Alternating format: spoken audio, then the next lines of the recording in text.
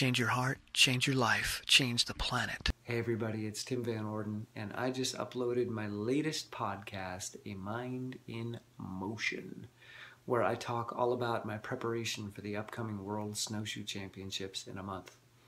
I'm trying some new training strategies, and they're working really, really well, and I'm excited about that. So I think it's 29 minutes long. It's on Patreon. I'm going to give you a minute and a half right now after this. But if you want to hear the entire episode, tune into Patreon. You can go to this link right here or look in the description below. And for those of you that are supporting me on Patreon, big, big, big thank you. Uh, it's really helping me to produce more and more content. I got some big stuff in the hopper. So let me know what you think, and I'll see you soon. Love you guys. Peace. You don't show up to the World Championships unprepared. You got to make sure you bring your A game. this is not a, a local race or a regional race. This is the World Championships.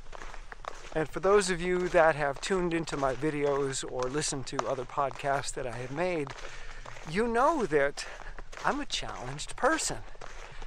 You know that life is not easy for me based on the brain that I was born with, and then how throughout my life certain experiences occurred that shaped that already challenged, highly sensitive temperament into a pretty fragile person.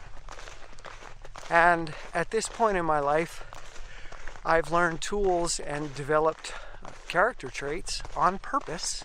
I did this intentionally that have allowed me to function at a really high level even though my default setting is to be highly sensitive and to fall apart rather quickly and just sink into a depression. I've learned how to get myself out the door and engaged and tackle pretty challenging things every day. Not once a week, not once a month, every day. And that's really exciting to me because if it can work for me, it can work for anybody.